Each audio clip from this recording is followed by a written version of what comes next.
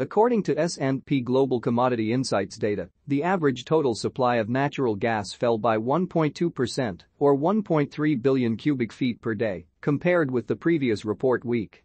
Dry natural gas production decreased by 1.8% or 1.8 BCF per day due to below normal temperatures and freeze-offs in producing regions.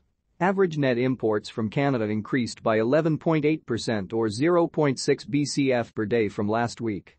Total U.S. natural gas consumption rose by 6.7% or 6.7 billion cubic feet per day compared with the previous report week.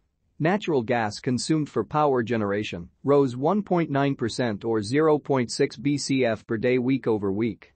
Industrial sector consumption increased by 2.5% or 0.6 BCF per day and consumption in the residential and commercial sectors increased by 13.1% or 5.5 BCF per day as below normal temperatures spread across much of the United States this week. Natural gas exports to Mexico decreased by 2.5% or 0.1 BCF per day. Natural gas deliveries to U.S. LNG export facilities averaged 12.7 BCF per day or 0.2 BCF per day higher than last week. Overall, the total supply-demand balance is bullish minus 8 billion cubic feet per day.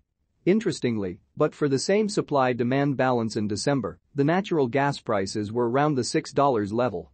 On February 1, Freeport LNG received approval from the Federal Energy Regulatory Commission to begin commissioning, including cooldown, of the LNG piping system and LNG Train 3. Additional authorizations are still needed to restart operations.